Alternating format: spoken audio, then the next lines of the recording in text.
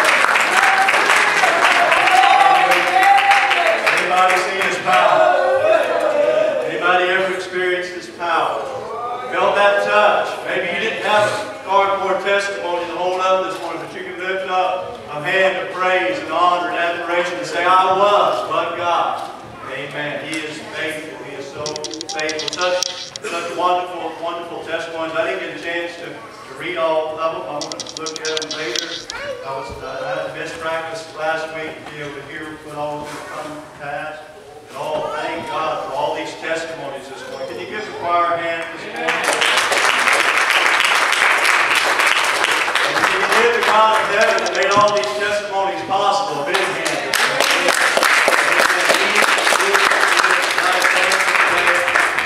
He is risen, and I'm glad to know that I am His child. Well, has anybody ever seen His power?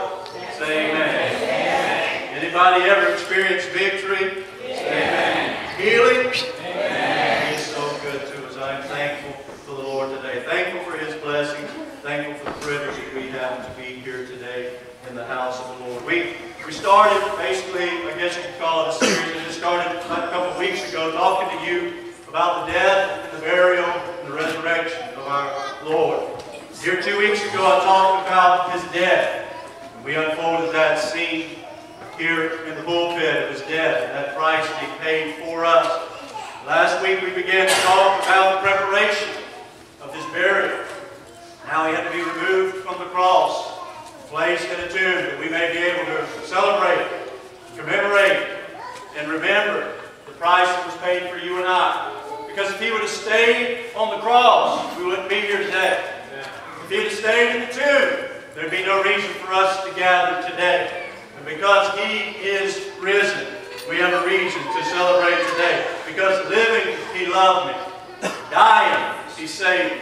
Buried, he carried my sins far away. Rising, he justified, freely forgave. One day he's coming back one glorious day. Aren't you thankful for that this morning? My God's not dead. He's alive. He's alive. Because he lives, as the songwriter put it, I can face my tomorrow. And I'm thankful for that today. If you have your Bibles this morning, turn with me to Matthew chapter 27. We're going to begin reading at verse number 57. If you do not have your Bible with you, just look up the screen there. We'll have the verses there on the screen for you as well. Matthew chapter 27, verse number 57. I would tell you and I won't hold you long this morning. If I did that, I'd be a lying preacher. I just come, come to grips, I'm long-winded. So I will, I will do my best to get you out of here as soon as possible. I know that though there's those that have afternoon and evening plans with their family, but there's nothing more important that we'll do today than right here in this service this morning. I want to talk to you this morning about positioning the body of Christ for the resurrection. And for us, what does that mean to us today? Positioning the church, which is the body of Christ, for revival. Uh, over the last couple of weeks, we've talked on this thought, and I want to continue and conclude this this morning. And if you say, well, I was not here the last couple weeks, don't worry. You will not be left out. You will understand what we're talking about here in just a few moments. Matthew 27, beginning at verse number 57, says, When the evening was come, there came a rich man of Arimathea named Joseph, who also himself was Jesus' disciple. He went to Pilate and begged the body of Jesus. Then Pilate commanded the body to be delivered, and when Joseph had taken the body, he wrapped it in a clean linen cloth and laid it in his own new tomb, which he had hewn out in the rock. And he rolled a great stone to the door of the sepulchre and departed. Father, we love you today. We thank you for the Word of God, which is so powerful, so strong. It Does not need anything added to it from me. It's powerful within itself. But I just pray, Father God, that you would just speak to us and draw us ever closer to your will and your way. Lord God, in this service this morning, we'll be careful to give you the praise and the honor and the glory for it. In Jesus' name, amen. You may be seated. We looked here last week at the body of Christ. We understood something that Jesus was 100% man, 100% God. He dwelt in a house of flesh. Scripture says the Word became flesh and dwelt among us and lived among us, and He was man. But we also know that He has made His place back to heaven. He's at the right hand of the Father, making intercession for you and I. You will not see Jesus, uh, the man, in the physical form in the streets today. You can travel to Jerusalem. You can travel to, uh, to Israel and to all the places there. You can see the place where he once lay.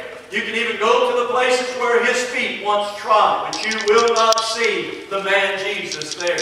But you will see Jesus and you will see Christ through his church because he tells us uh, many places in Scripture, 1 Corinthians 12, 27, Ephesians 5 and 30, and Colossians 1, 24, uh, all tells us uh, that the church is the body of Christ. he tells us in 1 Corinthians that we are the body of Christ and members in particular, that we make make up the body of Christ. We are the church. So we talked about last week uh, how they hung him on that cross uh, and how as he hung there on that cross, uh, it was an urgency that arose in Joseph's heart uh, to say that I've got to get Jesus, that body of Jesus, uh, out of the hands of Pilate, out of the hands uh, of, of, the ones that crucified him. and Scripture tells us there in our text that Joseph was Jesus' disciple. so he was saying, I've got to get out of their hands into my hands. I don't know what they're going to do with his body, but I know uh, what needs to be done with the body. I know the urgency in my heart uh, in which I need to do. Uh, and so I shared with that, that with you last week. Uh, and I even hit Facebook this week with a video uh, talking about what Jesus did, what Joseph did there with the body of Jesus. Uh, and, and, something I think that we overlooked in the Easter story was the fact that Joseph, Sister Gilla, had to get the body off the cross. He had to get the body off the cross. The body uh, that nails were driven in his hands and his feet. The body that was, his beard was plucked out. The crown of thorns uh, was placed on his head. Uh, spit from the soldiers uh, was in his face. His side had been pierced. He was a mangled mess as he hung there on that cross. And he did that, Isaiah said, for you and I. that he went through all of that for you and I. he went through all of that for Joseph. And Joseph, being a disciple, understood the price that had been paid there that day when he said it was finished. Joseph knew this is just the beginning. but he knew, uh, he didn't understand everything about it, but he had an urgency uh, to know that I, what I've got to do because of the customs uh, laid out in the Old Testament uh, that he had to take uh, and he had to do all the preparation that he was going to do with that body uh, before sundown, before, because of the time of Passover on Saturday, he couldn't touch that body. so he had to do it by the end of the day on Friday. so he understood that. He understood the urgency of that. so he took that body of Christ off that cross. And it just was not that simple as just take his body off the cross. Those nails had to be removed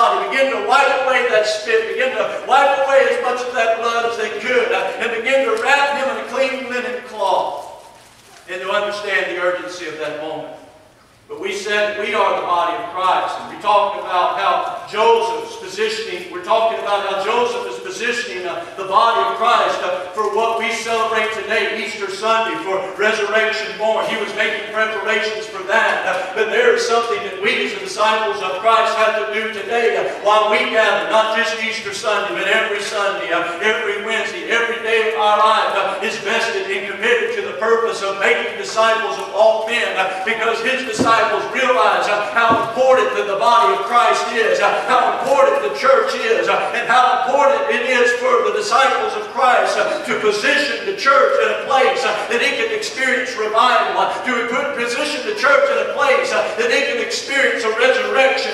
So Joseph, in all of his urgency, took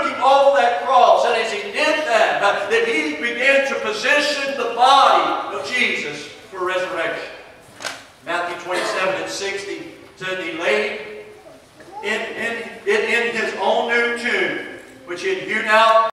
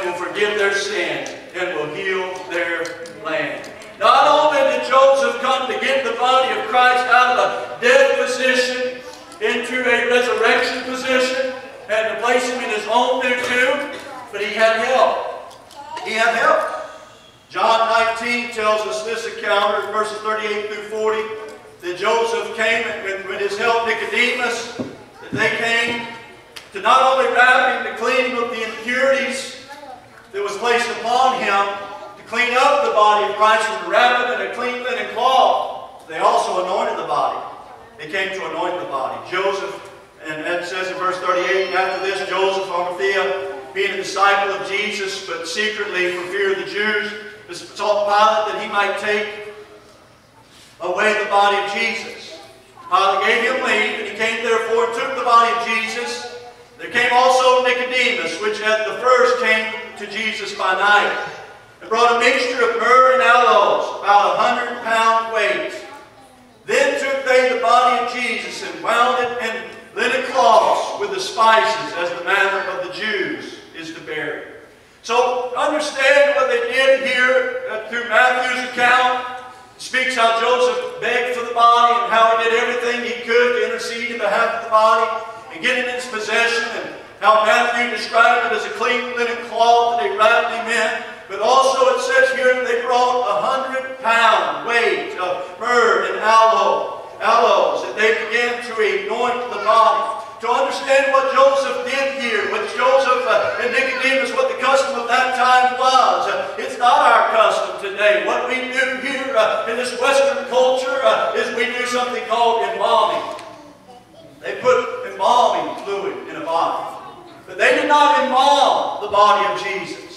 They didn't do it as we do it. Joseph and Nicodemus were not embalming him. Why not? Because he was not to be a relic of the past. But they were anointing the future of, of a great high priest. They weren't embalming him, they were anointing him. So we've got to realize uh, how they handled the body of Jesus. Uh, it is parallel to how we need to handle the church. They didn't embalm the body of Christ. They took it, they anointed the body of Christ. That we must realize today that we are to anoint and not embalm the body. It's not our place to tear down. It's our place to build up. It's not our place to go ahead and say, well, it's finished, it's over, we did the best we can, but it's dead, there's no hope, and there's no help, uh, we had a good run.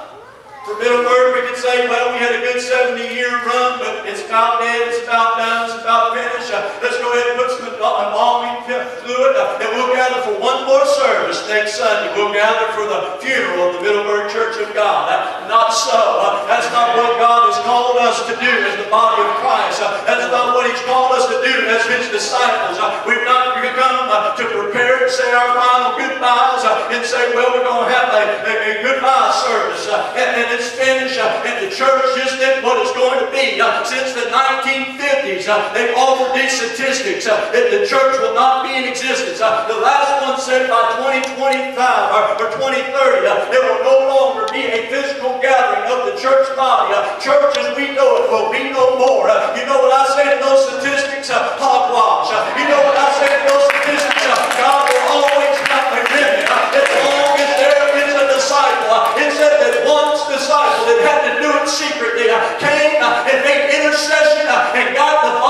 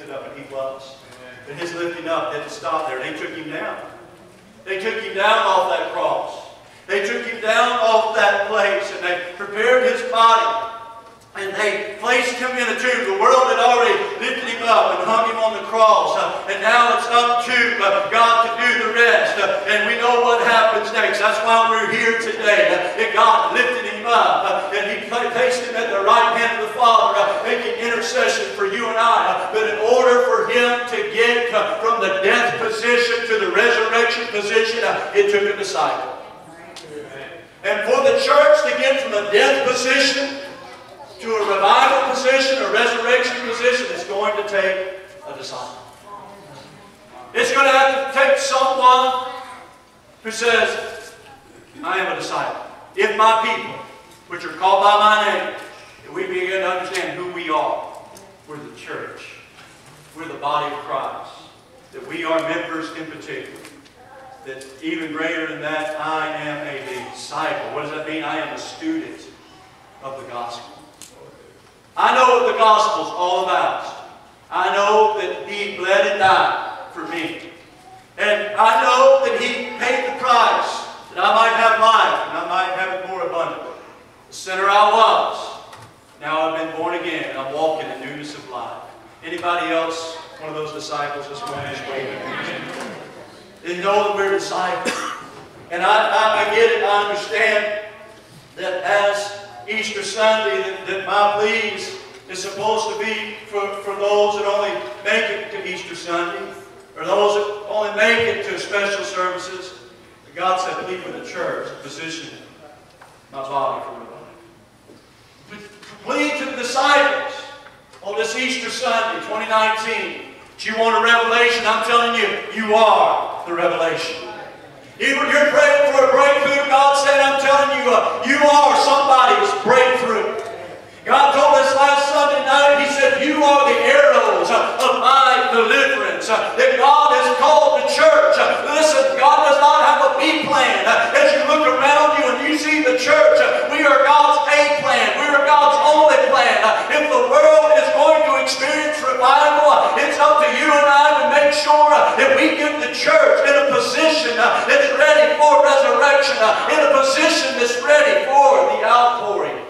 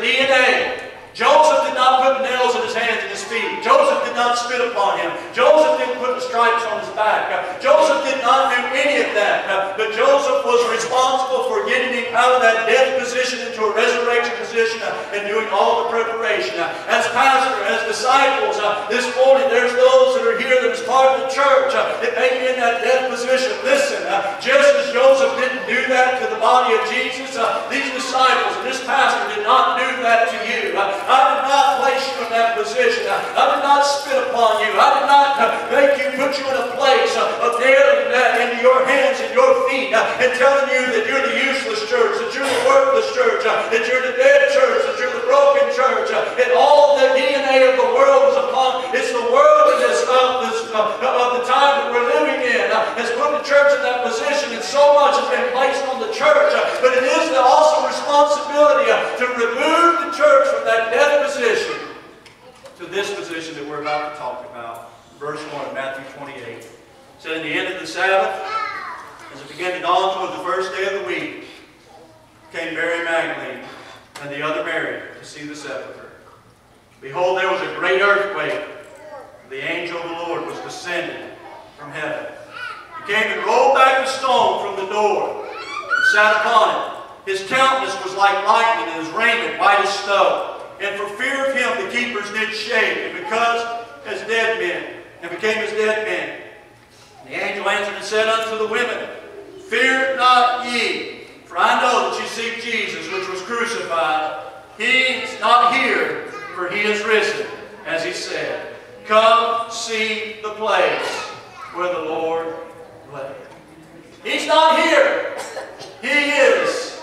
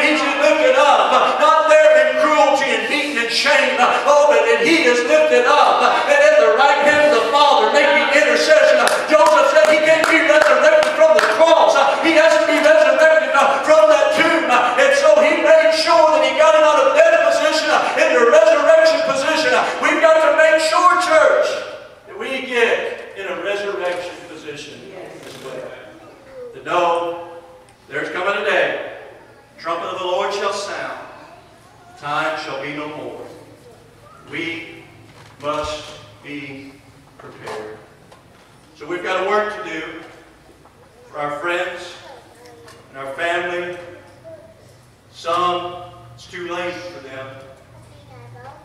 But others, we still have an opportunity to show them a church that's full of resurrection. A church that has been revived, has been renewed, has been restored back to the purpose. God has a church that is rapture ready. Some of our friends and our family are gathered here today, and you know what they came looking for? A church that is rapture ready. A church that is ready for revival. Disciples that are doing everything to make sure that this church is positioned. This choir practiced and did everything they did to prepare this uh, choir song, uh, that this church could be positioned in a place. Uh, they, they were praying for revival this morning. They were praying that souls would be touched, lives would be touched. Uh, these teachers that taught in Sunday school, uh, they did everything that they could uh, to make preparations uh, that we could deliver the Word in order uh, that lives could be touched, uh, that people could be discipled and grow in the grace and knowledge of Jesus Christ. ultimately, for another soul to be saved, yes, but to see those that will begin to grow. So when I talk about a growing church, I'm not always talking about increasing with numbers, but I'm talking about us that are here growing spiritually. And if we will grow spiritually and begin to position the church, God will give the increase. Joseph did not raise Jesus from the dead.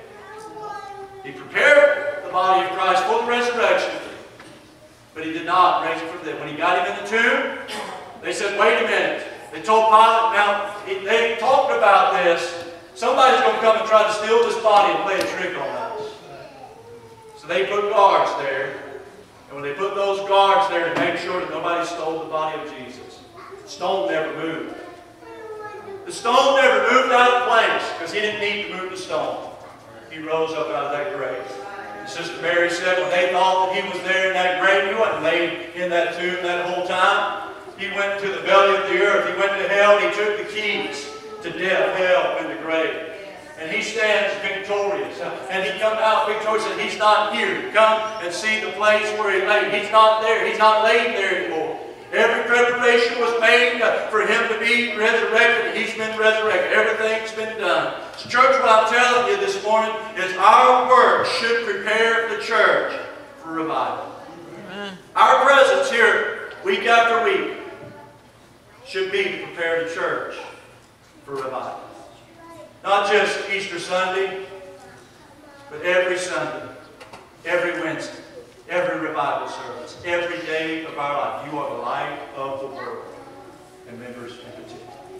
I, I, don't want our friends and family this morning to think that I'm overlooking you, that I'm not reaching for you, that I don't desire for you to be saved this morning. On the contrary, that's why I preach this message today, because I want to be sure that those that are a part of the church every week, every day of their life, uh, understand the urgency of the time that we're living in. Uh, there's those here this morning that's looking for hope. Uh, there's those here this morning that's looking for victory. Uh, there's those here today that's needing a, a, revelation saying, God, are you really real? Uh, God, God, show me something. Show me. Give me an answer. Give me something. Speak to me today that I may know. That I may know. You know what God does when that prayer comes before Him? He lays it on a disciple. He lays it on a disciple's heart to do something they had no expectation that they was going to do. I've seen it time and time again. Everything that God does in this church is for you, family for you, friends, for you, sinner. Everything that is done here, it's not that we can build some system of how great we are. It is all in preparations for us to go outside the four walls of this church and meet you where you're at. And to be able to be ready for you when you do come through those doors. To know there is hope. There is help. There is victory. Here, here just a, a while back, I am not sure of the time of it, the young man is here in service today. He came to me in front of the church. We were still at Howard Road. And he came to me. He was kind of just wandering around. Kind of like this. He just came up in front of the church. We closed service, all the service. He just kind of wandered around in front of the altar. So I, I finally walked up to him and said, son, what is it you need? And he looked at me. I say, son, grown man with kids, but than me. So, what is it you need? Said, Brother Jamie, I'm ready. I'm ready. I didn't have to say ready for what. I knew what he was ready for. I said, well, kneel down right there. We'll take care of it. And prayed him through. We prayed through that day. He got saved. And his pregnant wife was sitting in the back of the church. Very pregnant. Very pregnant. I didn't know that while I was up there praying for him, she was kneeling back there in the pew, coming back to the Lord. She'd backslid. Some ladies had helped her pray through, and they came back to the Lord. Came back to the Lord. She came back to the Lord, and he committed his life to the Lord. Been trying their best to serve God, live for God. And I've been trying my best to position them and others for revival ever since. There was a service not too long ago. That same young man was going through a dark time, a hard time, and began to question some things. This church, this church, he was kneeling right here, and I was back here praying. I didn't know why I did it, I just fell flat on my face, right down in his ear. And I began to say some things to him that God laid on my heart. Later he told me, he said, as I was kneeling there praying, I said, God, I need an answer right now. He, he told me later, he said, kind of freaked me out because you came out of nowhere, James. You came out of nowhere. You, you just, boom, you came there. If you need God, I, I told my Sunday school class this this morning, if you feel conviction in your heart, it, it's not because God's trying to make you feel guilty. It's not God condemning you, but at that moment of conviction, when God convicts and deals with your heart, at that point of conviction, He's also there with the blood. Without the shedding of blood, there is no remission of sin. The blood's already been shed. So if you sit here on Easter Sunday, uh, and the Easter Sunday service, and you feel conviction gripping your heart, understand something. Uh, with the conviction, uh, there is an answer. Uh, with the conviction, there is a remedy. Uh, with the conviction, God's just wanting you uh, to confess and, and, admit and, and, convince you of your sin. and maybe you're here this morning and you say, Brother Jamie, I'm convinced of my sin. I understand, that's not to bring condemnation to you you and say, uh, hey, you sinner, you came to church on Easter Sunday. Uh, no, what that is, uh, is God has pulled back that curtain for you to admit and to confess. And listen, He's brought you to that crossroad this morning, and He said, you're convinced you're a sinner. he said, can I convince you of something else? I died for your sin.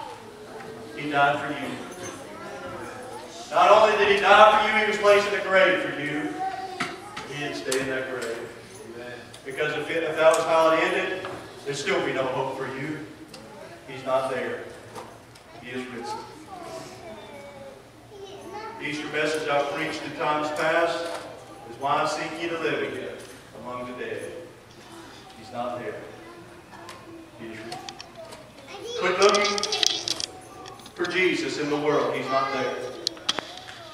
Church, let's not let them come looking for a live church. And find he's not here either. I don't see him. Seems like if he is here, he's dead. God's not dead. He's alive and well. As they sung this morning, if anybody here has seen his power, Say amen. Testimony after testimony after testimony came across the front of this room. Not for us to brag of anything about us. Brother Leroy didn't pull himself up out of that hospital. He didn't just fire a hospice. He fired hospice because he said, I don't need them. I'm not dying. No sense in wasting my time. Time. I was scared to death on the way to the airport. I didn't heal myself. God healed me. God healed me. Whatever those testimonies were that came across this room, one side was what the death position says. But on the other side is the resurrection position. You may feel like you're in a death position right now, but we serve a God that has called some disciples that are here to help position you into a resurrection position. You need answers today. I'm preaching to you about a resurrected Savior, but I'm also preaching to you about a church that He has placed here to do everything that we can to help you get positioned. To help you get positioned where God can change your life completely and bring you revival. Sister Gilda, you feel up to helping me this morning? Gilda hasn't been feeling well this week, I'm so thankful for her being here today. So thankful for her daughter driving her to church today. Feeling. You didn't use that as an excuse, you, didn't use that as an excuse. Appreciate her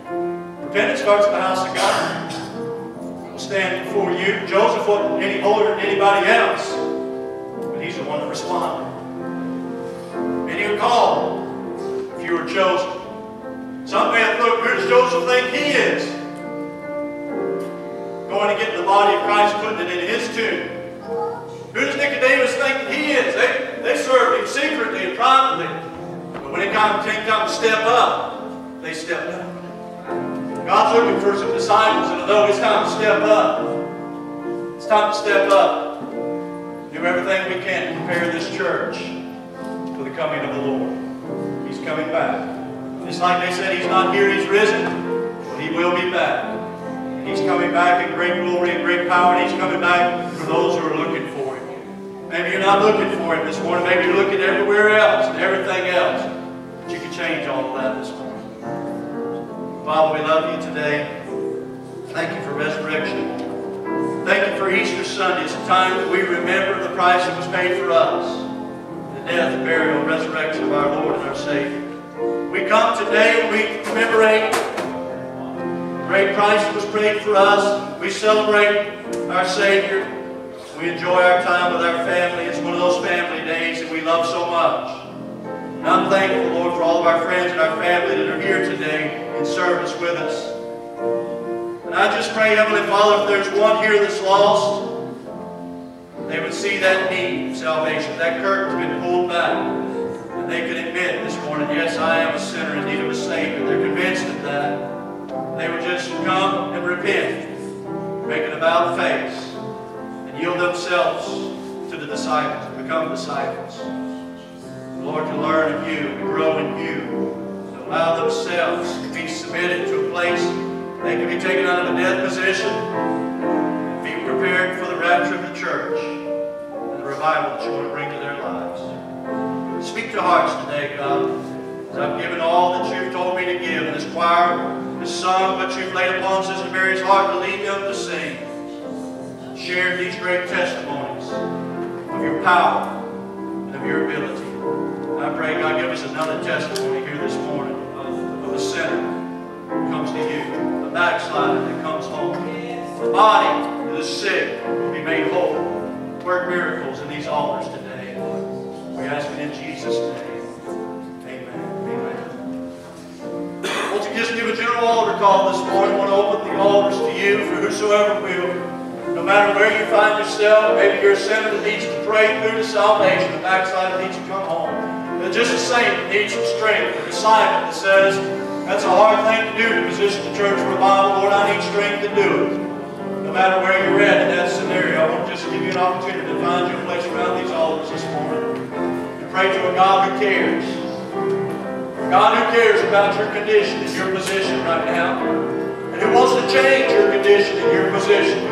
But are you willing to reach out to Him and say, Lord, I need you. Lord, I'm desperate for you change my situation. He's here for you today. Won't you reach out to him?